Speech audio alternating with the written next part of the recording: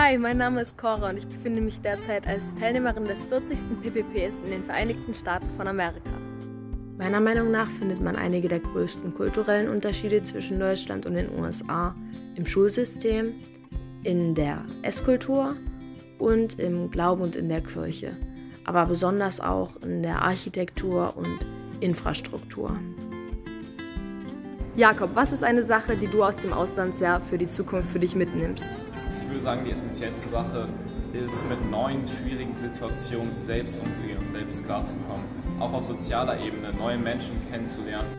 Während meiner Zeit hier war ich schon im Cross-Country- und Schwimmteam unserer Schule. Ich war das Schulmaskottchen bei Footballspielen und anderen Veranstaltungen und ich bin Teil einer freiwilligen Organisation, die Betten für Kinder in Not baut. Ein Grund, warum ich hergekommen bin, ist, um die großartigen Menschen hier kennenzulernen und neue Freundschaften zu knüpfen. Eine der wichtigsten Sachen für mich ist hier drüben meine Gastfamilie. Der gemeinsame Alltag hat mir schon viel über die amerikanische Kultur beigebracht und wir unternehmen viel gemeinsam, verbringen Feiertage zusammen und es ist wirklich unglaublich schön.